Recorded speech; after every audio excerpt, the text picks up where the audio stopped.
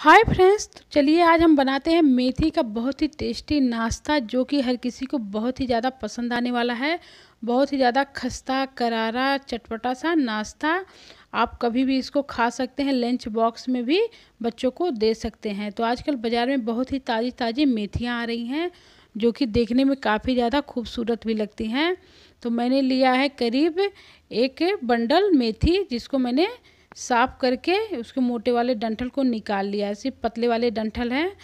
तो अब कर लेते हैं इसकी कटिंग तो आप भी इसी तरीके से कटिंग कर लीजिए।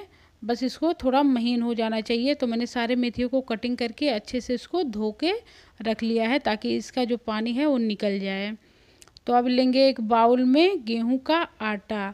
तो हम बनाएँगे इस नाश्ते को गेहूँ के आटे के साथ ताकि ये बहुत ही हेल्दी नाश्ता बने और हेल्दी के साथ साथ टेस्टी भी बने। तो अब इसमें हम डालेंगे थोड़ी सी हल्दी थोड़ा सा मिर्ची का पाउडर। बस थोड़ा थोड़ा ही डालना है, बहुत ज़्यादा हमें नहीं डालना है। अब लेंगे हम करीब आधा चम्मच आजवाइन तो आजवाइन ज़रूर डालिए, क्योंकि आजवाइन से बहुत ही ज़्यादा टेस्टी बनेगा। और आजवाइन थोड़ा गर्म होता है तो सर्दियों में खाना भी चाहिए। अब डालेंगे करीब आधा चम्मच नमक, दो चम्मच रिफाइंड ऑयल तो सभी को अच्छे से मिला लेंगे। तो इसको थोड़ा सा हम मोइन कर देंगे, ताकि ये बढ़िया खस्ता बने। तो अब जो मेथिया धो के रखा था, उसको आटे के अंदर डाल करके पहले हम इसको बढ़िया आटा लगाएँगे। अगर ज़रूरत पड़ा तो पानी भी डालेंगे। तो एक साथ सारी मेथियाँ नहीं डालेंगे थोड़ा थोड़ा करके डालेंगे। तो ये देखिए, जो मेथी बचा था मैंने वो भी डाल दिया है।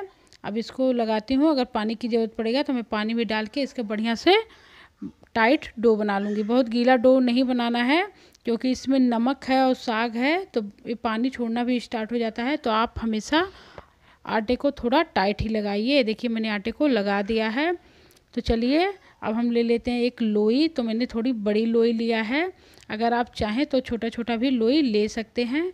लेकिन मैं एक साथ में कई सारे पीसेस बनाऊँगी इसके। इसीलिए मैंने थोड़ा बड़ा लोई काट लिया है। तो बस, अब इसको हम रोटी की तरह बेल देंगे। तो रोटी की तरह ही बेलेंगे, लेकिन थोड़ा इसको मोटा बेलना है। बिल्कुल पतला नहीं रहेगा।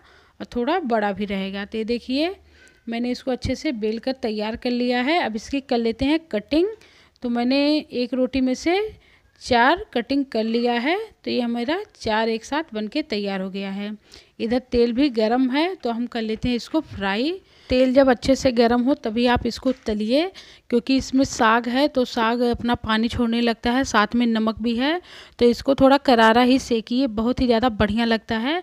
अगर आप चाहें तो इसको सेक करके अच्छे से स्टोर भी कर सकती हैं, क्योंकि जैसे मठरी बनता है तो मठरी भी काफ़ी करारा सा सिक के तैयार होता है ना, उसी तरीके से आप सेक के इसको स्टोर भी कर सकती हैं। हफ़्ता दस दिन मज़े से आप खाएँगी, जब भी आपको चाय के साथ कुछ भी हल्का सा खाने का दिल करे, आप दो मठरिया लीजिए, आराम से खा सकती हैं।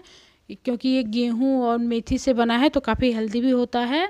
तो आपके बच्चे को आप टिफ़िन में या बड़ों को या ट्रैवलिंग के दौरान भी बना के इसको ले जा सकती हैं स्टोर कर सकती हैं। तो अगर आप एक बार बनाएँगी तो आपको बेहद पसंद आने वाला है, आप पूरी सर्दियाँ बनाने वाली हैं। तो ये देखिए, मैंने बना करके सारे मठरियों को तैयार कर लिया है। तो अब मैं इसको सॉस के साथ एंजॉय कर रही हूँ। बहुत ही ज़्यादा टेस्टी लगा मुझे। तो आपको भी पसंद आएगा। अगर वीडियो पसंद आए तो चैनल को लाइक, सब्सक्राइब ज़रूर